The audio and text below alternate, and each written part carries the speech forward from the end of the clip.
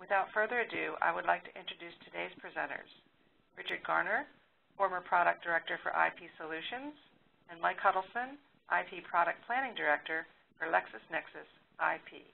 Thank you to everyone for attending today's presentation. With that, I will turn it over to you, Richard. Um, thank you, Gail.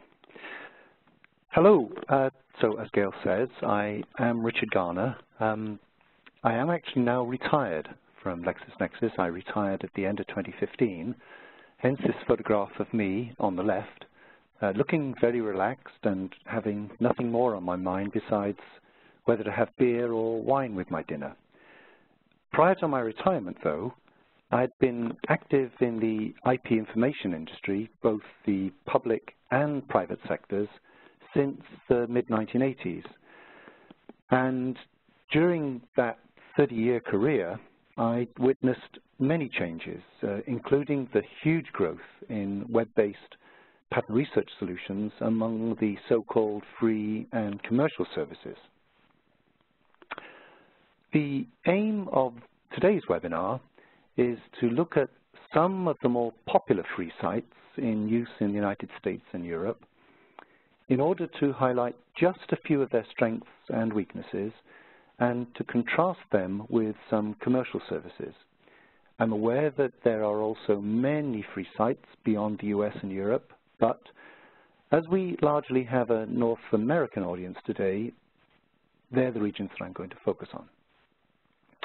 As Gail has said, please feel free to raise questions during the presentation using the chat feature, and we'll try to answer as many as we can at the end.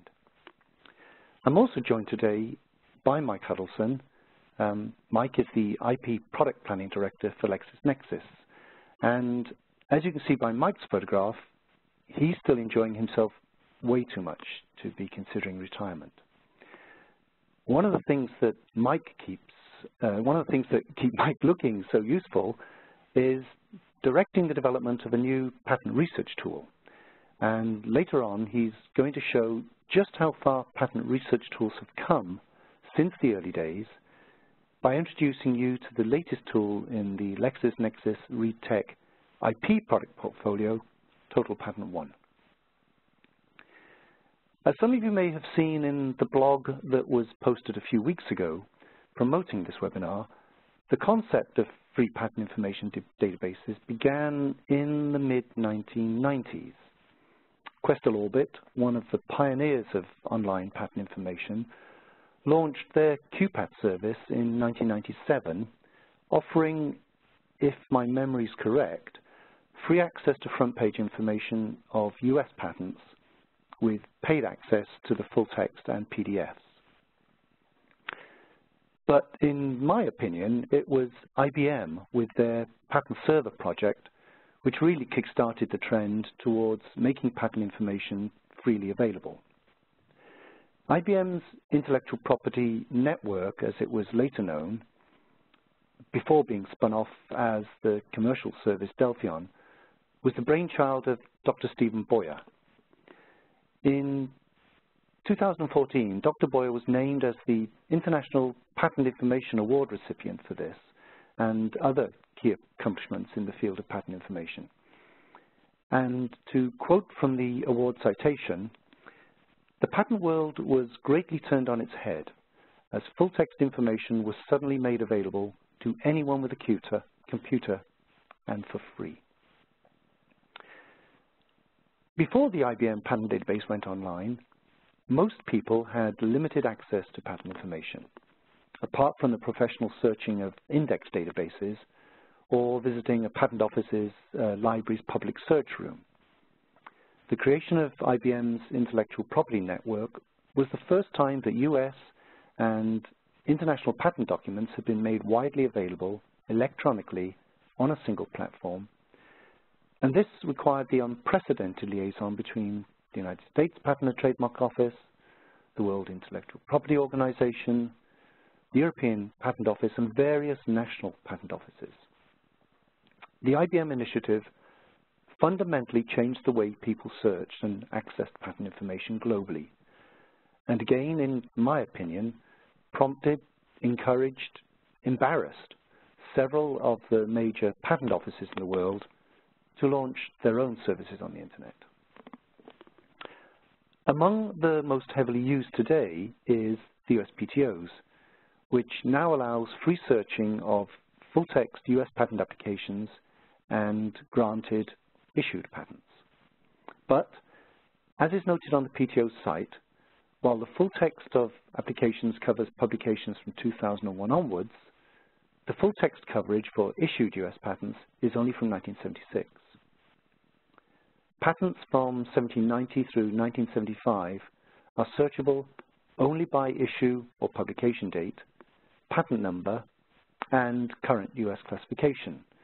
But as we all know, I'm sure, that system has now been replaced by the cooperative patent classification system largely. The USPTO site supports quick, that is, simple searching using one or two terms or phrases, and the user can choose to search all fields or select an individual field from a drop-down that includes various names, dates, numbers, classes, etc.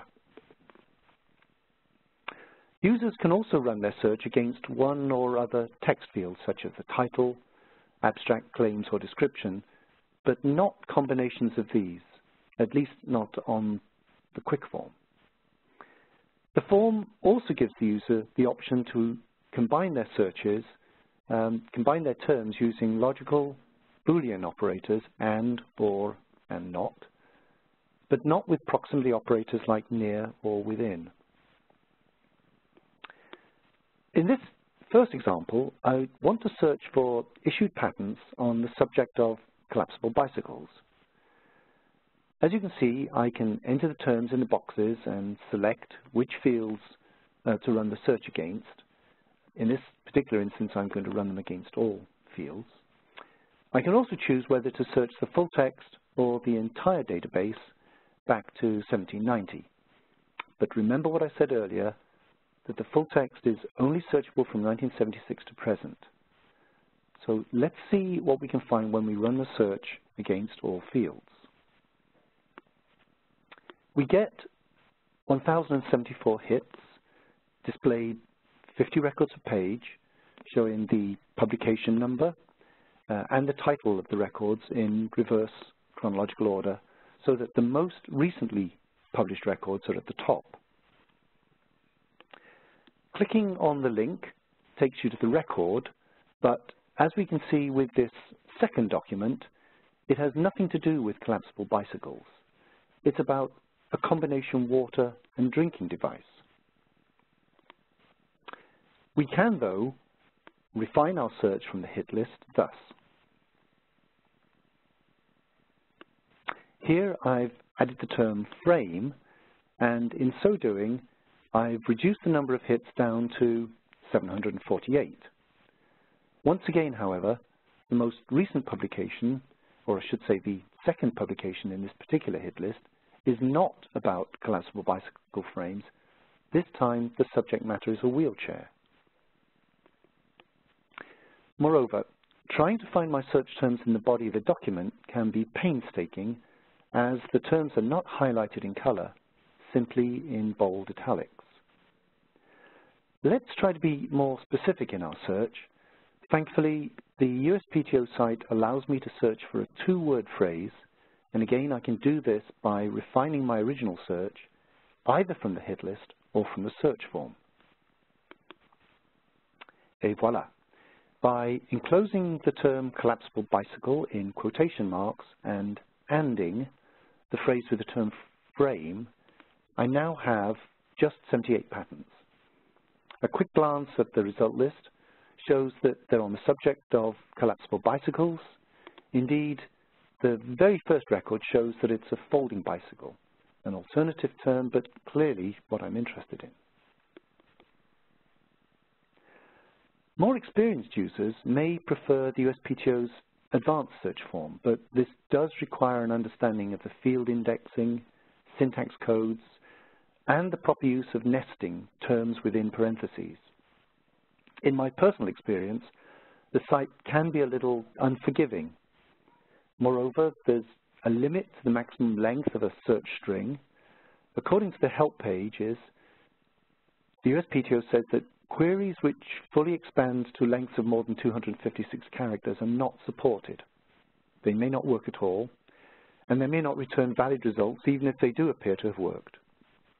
I said earlier that I'd been in the industry for more than 30 years, and in that time, I saw search queries that amounted to several dozen lines and literally hundreds of characters.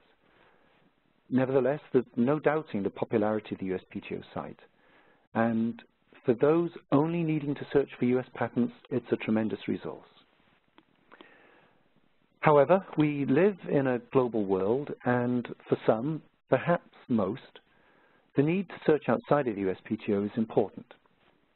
So the next service we're going to explore is the hugely popular European Patent Office site, Espacenet. Like the USPTO, Espacenet was launched in 1998, but unlike the USPTO, the EPO is not bound by a charter forbidding competition with the private sector. And this has brought the EPO service into conflict with some commercial database providers. Personally, I think that says a lot about Espacenet because it is now a very sophisticated tool offering access, it claims, to over 90 million patents from 80 different countries and regions. Perhaps, though, being sensitive to the commercial database providers, the EPO website publishes seven points to consider before starting your slide. The seventh point being use the right tools. The site stresses that using free patent search tools is not necessarily more cost-effective than using fee-based databases. It goes on to say that discussions with patent professionals often reveal that free tools are sometimes too blindly trusted due to the incorrect impression that free services offer as much information, if not more, than commercial databases. The EPO states that users need to be clearly informed on the limitations of free products. It points out that abstracts in Espacenet are not always available when they're present in some well-known commercial databases, and that you'll often spend much more time finding results than by using fee-based tools. Finally, the EPO adds, the cost of a patent professional spending two hours on a free system are often higher than the costs of such a professional spending 15 minutes on a fee-based system. I don't think I could put that better. Even so, Espacenet is a formidable tool in the right hands. So let's take a look at some of its strengths and weaknesses. Similar to the USPTO site, Espacenet aims to cater for the experienced as well as novice searcher by offering several search forms, including a smart search, advanced search, and classification search. We'll just look at the first option. Because the EPO publishes in three languages, English, French, and German, the Smart Search feature allows users to select which collection they want to search in. Because of the very different scope of the collections on offer in Espacenet, it's not possible to do a direct comparison with the USPTO site, but we will at least use the same search terms. So let's begin by looking again for collapsible bicycles. I'm going to um, combine the term using the AND operator, and we'll run that search. Now, despite Espacenet's coverage being considerably wider than the USPTO's, you'll see that my search has generated fewer hits, 563 compared with 1,073 on the USPTO. The reason for this is that Espacenet displays the hits as patent families. We don't have time to go into the subject of patent families here, but this is a fundamental difference between the two sites. If we open up the first record, you'll see that it consists of two Inpadoc family members, um, WO2016-162707 and a Hungarian patent application HU1500155. Uh, the Hungarian application was filed on April the 9th, 2015, and the WO application filed just under a year later on April 7th, 2016. So in reality, two hits, not one. If we were to download the records into a spreadsheet, I'm sure we'd find that the combined total number of records returned by Espacenet was more than those generated by the same search on the USPTO site. But whereas the USPTO displayed all 1,078 hits, Espacenet is limited to the first 500, and users are recommended to refine their search in order to reduce the number of hits. So let's do that. Again, we'll look for the term collapsible bicycle, but this time we'll search for it as a phrase and we'll add the term frame to our search.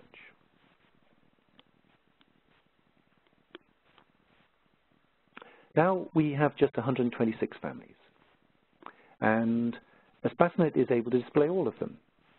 And you'll notice how, in addition to displaying the title, Espacenet also shows various elements of the records, such as the name, the inventor, the assignee applicant, classes, as well as some numbers and dates. Plus, the user can sort the results by various fields, as well as by ascending or descending order, and download the front page of the PDF or export the results into a spreadsheet, all from the result list. It's worth pointing out the third and fourth records um, in our list because you can see that the titles have been terribly misspelled. This is important because had we not searched all text fields and, say, restricted our search to the title only, neither of these records would have been found. And yet, in this next slide, we can see very clearly that the subject matter is correct. To mitigate this, some commercial database providers correct typographical errors and others even rewrite the titles and abstracts to make retrieval easier. The third official free site I'd like us to explore is WIPO's Patent Scope. WIPO, WIPO, the World Intellectual Property Organization, came to the party later than either the US Patent Office or EPO Indeed, Patent Scope wasn't released officially until almost 10 years after the launch of either of the other services. Perhaps because of that, and because WIPO is truly international in scope, rather than national or regional, as is largely the case with US PTO and the European Patent Office, for my money, or indeed for no money at all, uh, PatentScope is among the most sophisticated and global of the free tools currently available. The collections consist of almost 60 million records published by more than 40 authorities, and the search interface is available in eight languages, Chinese, English, French, German, Japanese, Korean, Russian, and Spanish. Now, in this session, we're only going to look at the English interface. But it's not only the interface that's been internationalized. PatentScope offers a range of features to aid and assist in translation, including CLIR, C-L-I-R, which stands for Cross-Lingual Information Retrieval, a tool that can propose synonyms for any keywords you enter. It can also translate your original inputs and the generated synonyms into 12 other languages, as well as offering a statistical machine translation tool that can translate any patent documents from and into 14 different language pairs, including, again, English, Chinese, French, German, Japanese, Korean, Russian, and Spanish. We'll continue searching for collapsible bicycles, so uh, I'm going to enter those terms into the simple search form, ending them as before. This time, our search returns 2,600 hits, but at first glance, a few of the first 10 records seem to be relevant, so let's enclose the terms in quotation marks and run it again. This is more like what we need. 362 records in total and certainly judging by the first 10 uh, records, they all seem to be in the right area of technology. Note that we can use the machine translation feature to translate record number four um, into English using WIPO's own translation service or other translation tools offered by Google, Microsoft's Bing, and Baidu. In this particular example, I found Google to offer a better translation than the WIPO service.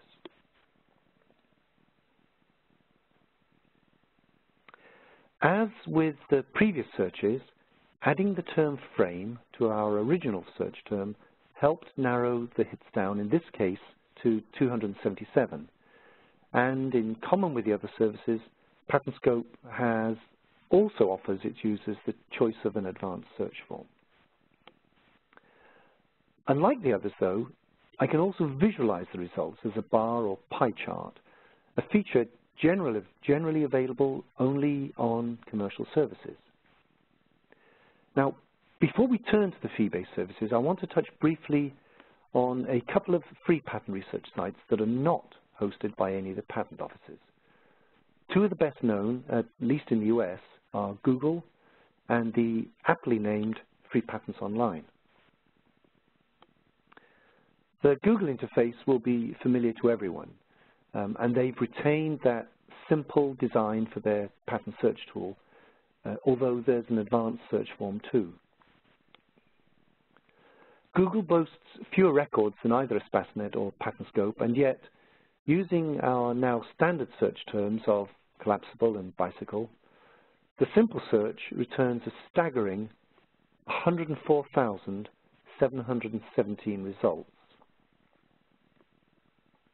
The explanation being that while the terms are ANDed together, Google also includes synonyms for the terms and these synonyms are then ORed together.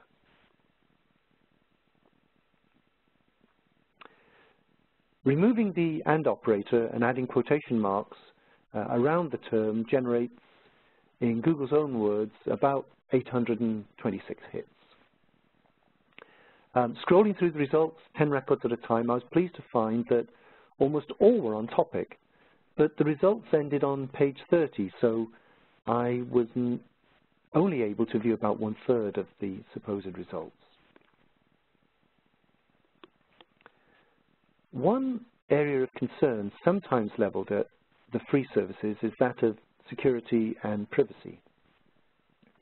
But Google is at pains to stress its policy in this area, publishing the circumstances under which Google uses information provided through patent search queries. Crucially, they confirm that Google does not inspect Google Patents logs to inform its own patenting strategies. This reminded me of um, some trouble that IBM is rumored to have had when they launched the Intellectual Property Network. Word began to circulate that IBM had access to the search strategies being run on the IPN, and this led very quickly to several major companies in high tech banning or restricting the use of the service by their employees. It wouldn't surprise me if this was one of the factors that led IBM to spin off the service in 2000, although certainly IBM was not, like Google isn't, examining the patent search logs. As far as I know, the, the new company, Delphion, was never dogged by those accusations and it went on to become one of the most successful of the commercial patent vendors, so much so that the business was eventually acquired by Thomson, now Thomson Innovation, in 2002 for approximately $22 million. The last free service I want to look at today is Free Patents Online.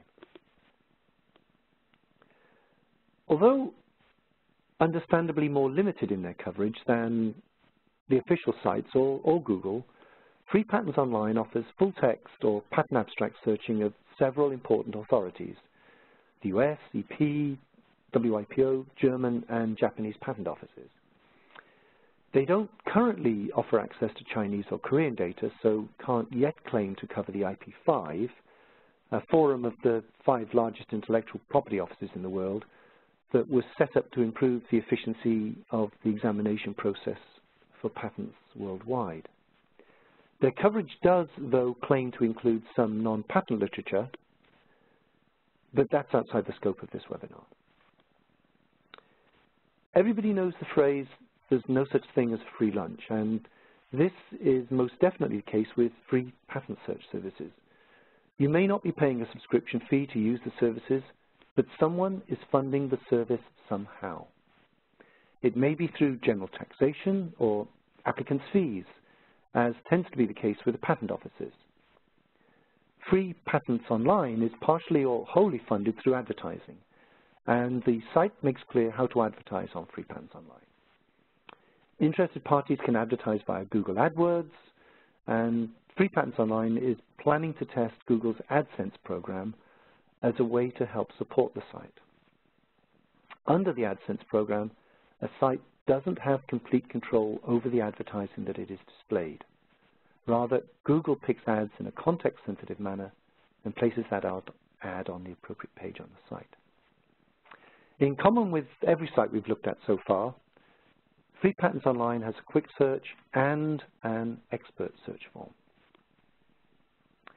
I thought it was curious, though, that the quick search form offered me a choice of almost 30 boxes to complete compared with the single box on the expert form, the exact opposite approach taken by Google. Using our by now standard search, I entered collapsible and bicycle in the All Fields box, having previously chosen all the patent collections and all years. Word stemming is on, and sort order is set to chronological. Free Patents Online is impressively fast in executing the search, but as you can see from the results, hardly any of the first dozen records are related to bicycles, let alone to collapsible ones.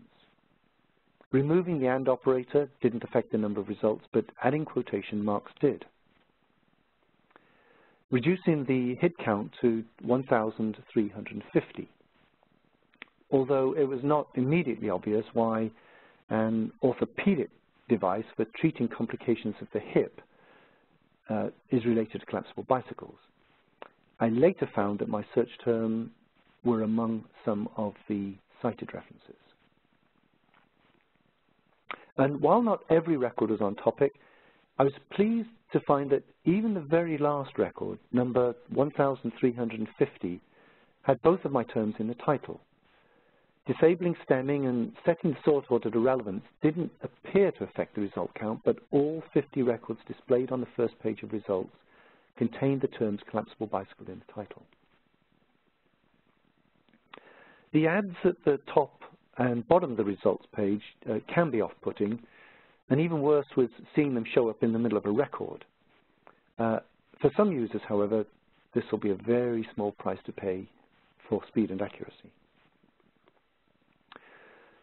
In the blog that accompanied this event, I said that some commentators were predicting that the increase in the number of free sites offering patent databases would lead inevitably to a reduction in the number of commercially produced databases. And it's true that some of the early pioneers in the industry are no more. We began by talking about IBM's intellectual property network being spun off as Delphion, which itself was then acquired by one of the bigger players. Delphion continued under Thomson Reuters until it was retired along with the Aureka platform just a few years ago. And MicroPatent, another early pioneer in this space, has also now been discontinued. But none of these products was necessarily a casualty of the revolution in free patent search engines. They were simply merged into Thomson Innovation, their successor.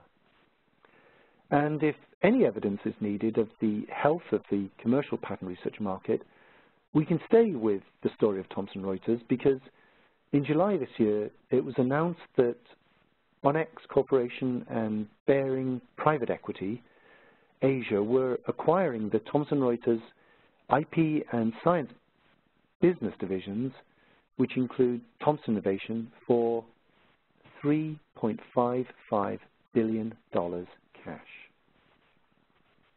So how have the commercial database providers confounded their critics and survived, nay, thrived in the face of the free competition.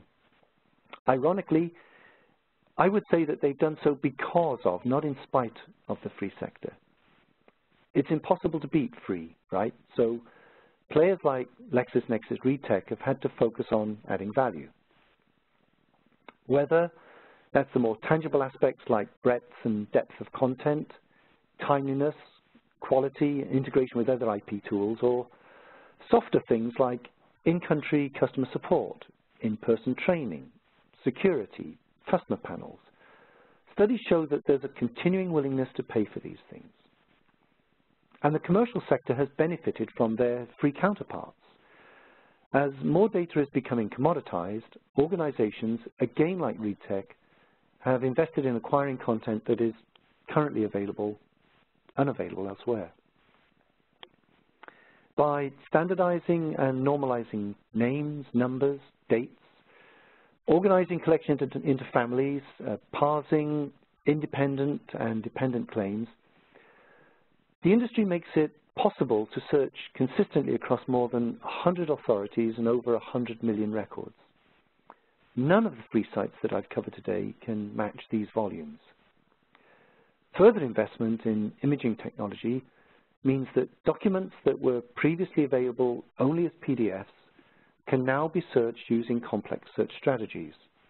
And advances in machine translation technology has meant that hitherto impossible to search in full text collections of Chinese, Japanese, Korean patents can now be searched with the same degree of accuracy as US and European collections.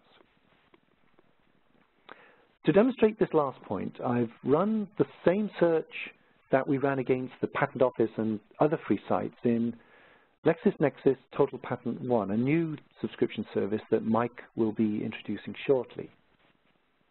Using only English terms, collapsible bicycle and frame, and searched against the entire collection of almost 107 million records, TotalPatent One returned 1,130, sorry, 1,389 hits, almost all of which appear to be relevant from the first right through to the last record. Another powerful argument is that the explosion of information in general and patent information in particular has made the need for tools that can cope with this increase even more necessary. It's easy to forget, that less than 10 years ago, access to Chinese full-text patent information just didn't exist outside of China, despite the fact that their filings were already increasing exponentially from around 50,000 applications a year in 2000 to more than 500,000 in 2010. As of 2014, that number has risen to almost a million. And China has consistently been the number one filer of patent applications since 2010. If the absence of Chinese data was not bad enough, some experts thought that once sources did become available, it might take another five years before reliable English translations would emerge. Today, several commercial services offer access to good quality English machine translations of Chinese patents, not just the titles and abstracts, but the full text, including the claims. Indeed, LexisNexis, with their operation in the Netherlands, was among the first database providers to load the complete back files online of English translations for Chinese full-text patents. The Patent Information User Groups Wiki lists almost 50 mostly commercial services offering multinational patent databases. Their corresponding list of single authority patent databases, mostly consisting of collections offered online by individual patent offices, shows about a dozen fewer. Largely absent from either list, though, are the databases and services on offer in the Asia-Pacific regions. At the annual Japan Fair in Tokyo last week, there were over 100 vendors ex exhibiting at the Science Museum, the vast majority of them from Japan, South Korea, and China. We can be pretty sure that around the world, the number of commercially funded patent databases and related services is more than 100. And to think that when I began my career in patent information more than 30 years ago now, you could count the number of such services on the fingers of two hands, probably without the need to use your thumbs. So far from bringing about their decline, fee-based subscription patent research tools happily coexist uh, alongside the free tools, sometimes meeting the same need, other times meeting needs that simply cannot yet be met from the free tools. And organizations large and small continue to make use of both systems aware of the advantages and disadvantages that come with each. Well, that concludes this section of the webinar. I'd like to thank everyone for attending today. Let's pause here, um, but before I invite Mike Hudelson to walk you through TotalPatent One, let's see whether Gail has uh, received any questions. Thank you so much, Richard. Yes, I do have a few questions here. Um, first uh, question, what is the market size for all patent search tools? That's a really good question. And actually, um, um, there have been a number of studies for um, the commercial sector, which you know puts it somewhere in the region of um, between half a billion and the best part of a billion dollars. Um, it, it's hard to be precise because where does a patent research tool begin and where does it end? You know, many tools today are integrated with um, portfolio management systems, they're integrated with analytics systems, um, but there are also um, free standalone tools that just cater for uh, portfolio management just cater for analytics. But certainly um, studies that uh, we have seen over the years uh, puts the market, I think, uh, in a very healthy state uh, of in, in, that sort of ballpark. Thank you. Um, another question. You mentioned one site that offered the means to analyze results graphically. What other features are missing from free sites? Yes, I, I, think this is one of the, um, the, the major shortcomings uh, these days in free services. Um, you know, the, the, ability to filter graphically or to analyze the records, to put them into charts and graphs, um, to, to, download them, uh, it, that's just table stakes nowadays. And so I'm surprised that more of the free tools aren't, su aren't supporting um, graphical analysis. Um, but there are there are many many other things. Um, the use of semantic search these days is becoming somewhat ubiquitous in commercial tools. You know, recognizing that in order to search databases in excess of uh, 100 million records, um, the you know the, ability to search that data just using standard Boolean search terms um, is just not going to cut it. I mean, what if you don't know all of the possible synonyms for a particular term? Uh, what if um, you're having to search in foreign language collections?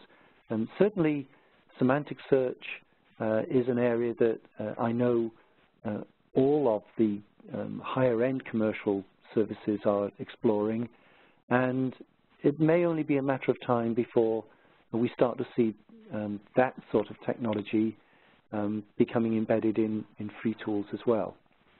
Um, there's things like citation analysis. There's uh, limits on, we've already seen, limits on the number of records that you can display. As was 500. Uh, limits on the formats that uh, users can download records in. Um, and limits on the number of documents that can be downloaded at a time.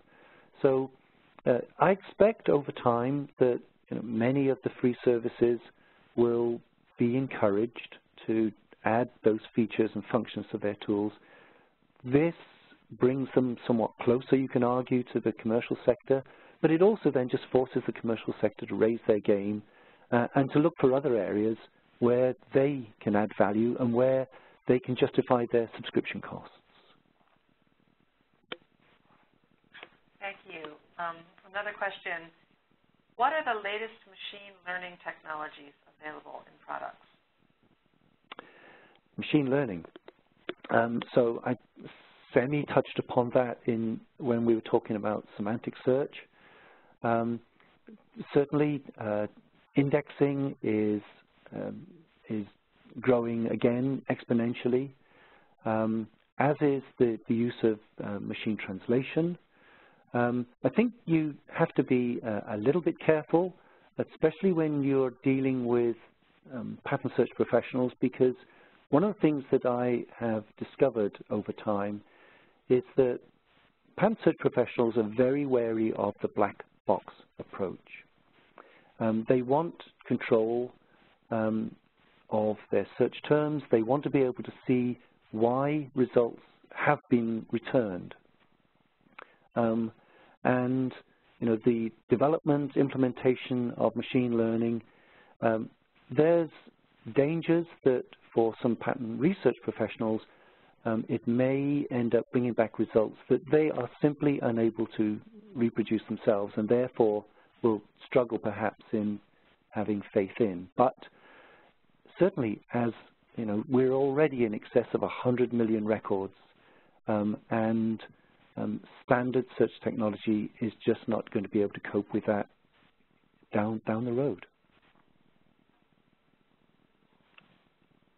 Thank you so much, Richard. I think at this point